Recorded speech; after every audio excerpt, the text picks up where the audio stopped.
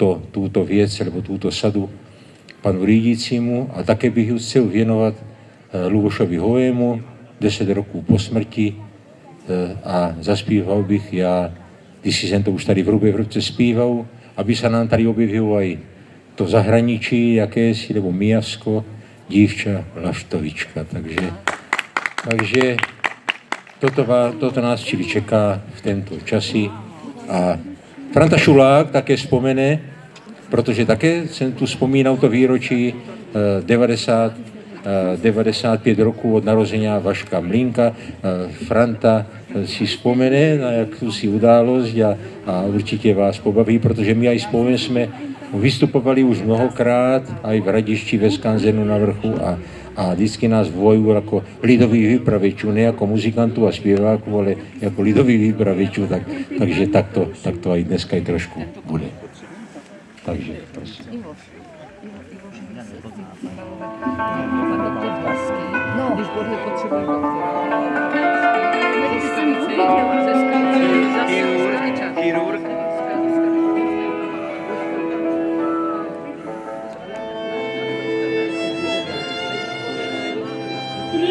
Hodoni.